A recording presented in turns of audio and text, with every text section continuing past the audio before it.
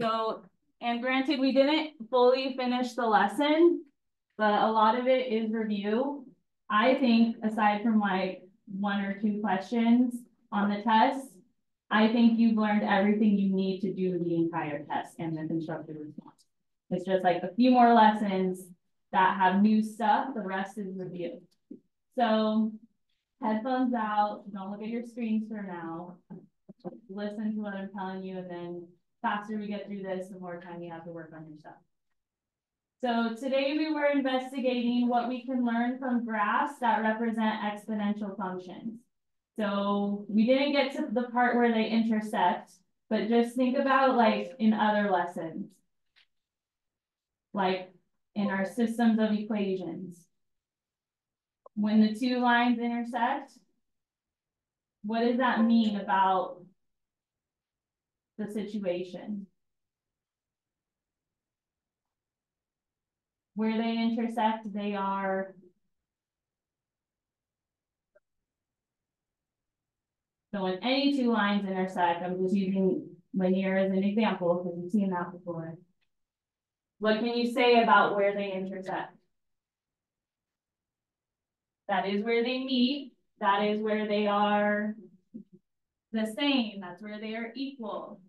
So whatever situation is going on, say that this green line is company A and this red one is company B, whatever is going on, they have an equal amount at where they intersect. Is it about this?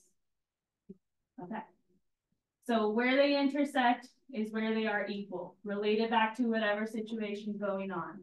So if X is supposed to be time, and maybe, I don't know, Y could be sales, it could be really anything. Then at that time frame that they meet at, they have the same amount of sales, which would be like the Y.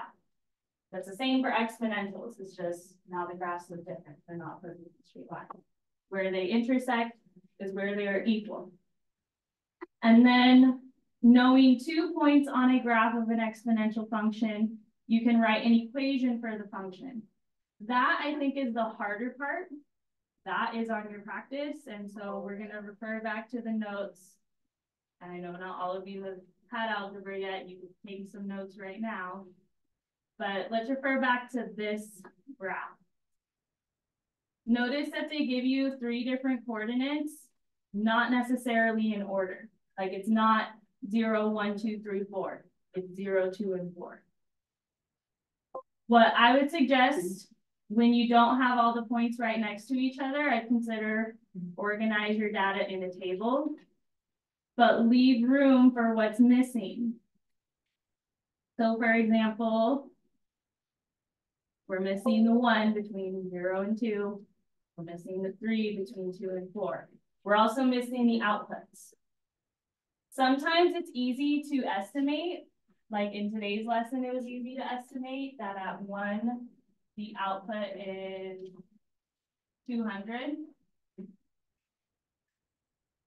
Like that I can read from my graph, but I know on your homework, it was hard even for me to estimate.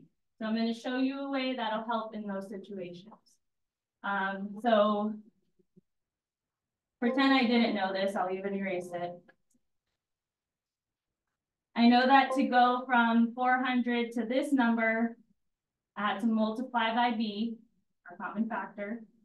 I know to get from whatever this number is to this number, I had to multiply by B again. B is what we're trying to solve for. That's what we're trying to figure out. So if I know that 400 times B times B will equal 100, that can help me solve for what my common factor is. Um, B times B, another way to shorten that is B squared, not um, 2B, that would be different. We're multiplying them. And then you're trying to isolate the B, you're trying to get the B alone. So start with what's farther from the B. Would that be the two or the 400? And what's opposite of multiplying 400? Dividing. Whatever you do on one side of the equal sign. Looking for a class response, whatever I do on one side of the equal sign. Okay. We're getting closer to figure out what B is. B squared is equal to, when you divide this out, one fourth or 0.25, I'll leave it as one fourth. What's opposite of squaring something?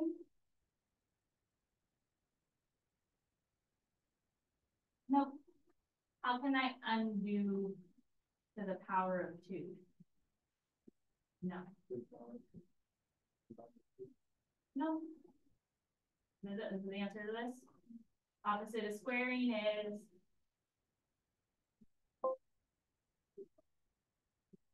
Maybe you guys are confusing the symbol with the division symbol. But let me put it to you this way. 10 squared is 100, right? You know what the square root of 100 is? Okay. So the opposite of squaring is to square root it. Whatever you do on one side, you do to the other. And then I get the true value for what B is, which I'm going to use my calculator.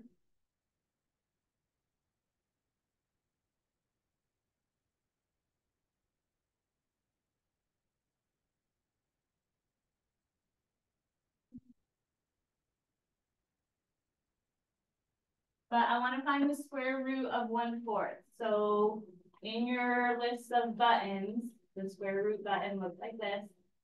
Almost looks like a division symbol, but not a root symbol. And one fourth is what we're taking the square root of. Gives you that, which you can also make a fraction if you prefer the fraction. And now that's your B. Okay.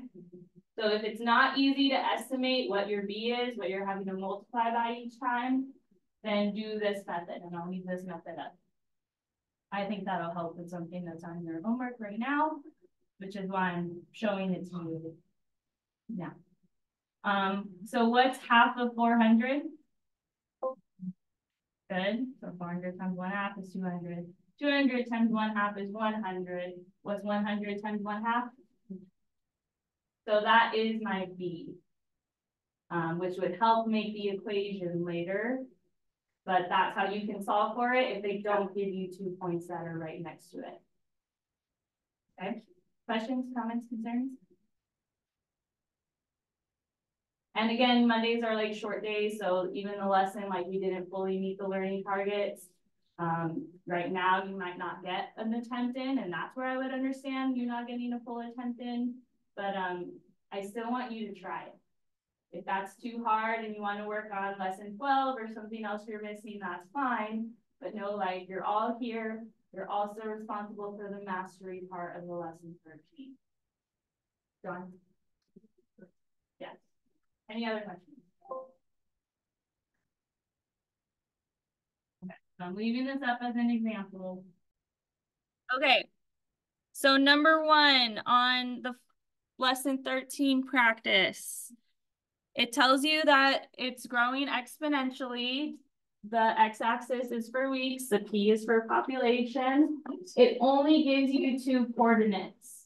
So with those two coordinates, I need to figure out what my factor is for each week, not for every two weeks.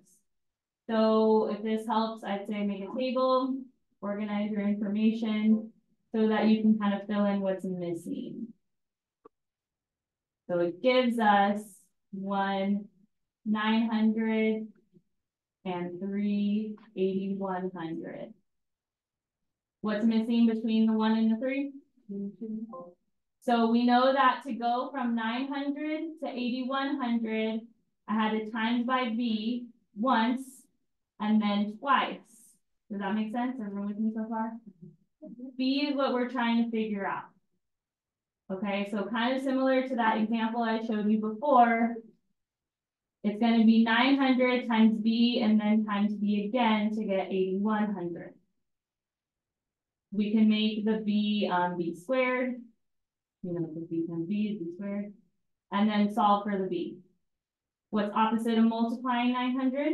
So we're going to do that on each side of the equal sign.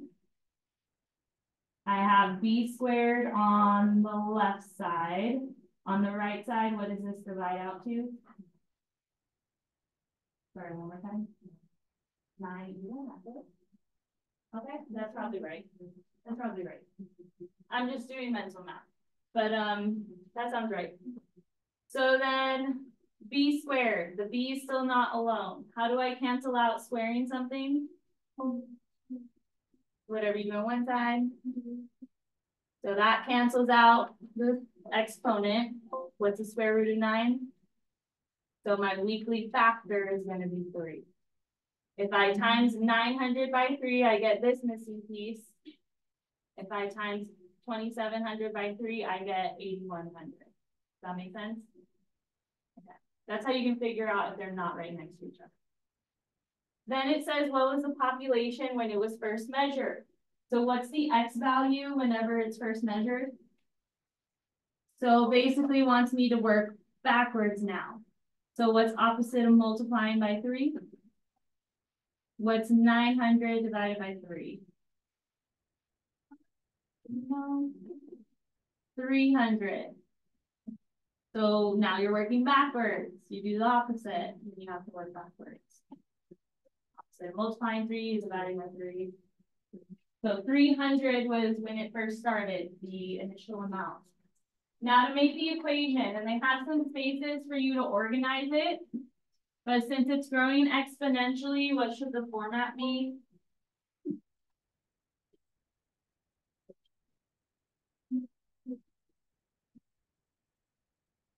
A times B to the X power are exponential functions. Granted, they have some notation here already. They use function notation. That's fine. You know, this would be like my Y, right? So then I need to put my initial amount, which was what? So 300 will go in the first blank. That should not be attached to an exponent. Sometimes they do switch the order. The initial amount should never be attached to the exponent. What should be attached to the exponent is your common factor, your b, which was what? Three. We times by three each time. Right? That's what we did. That's what it should be. Questions on that? Well, tomorrow you'll have more time to finish this one, but you also have lesson 14. And I think an hour is more than enough time to do like, I don't know, eight problems in total. So you can pick it up here tomorrow. I encourage you to try it yourself too.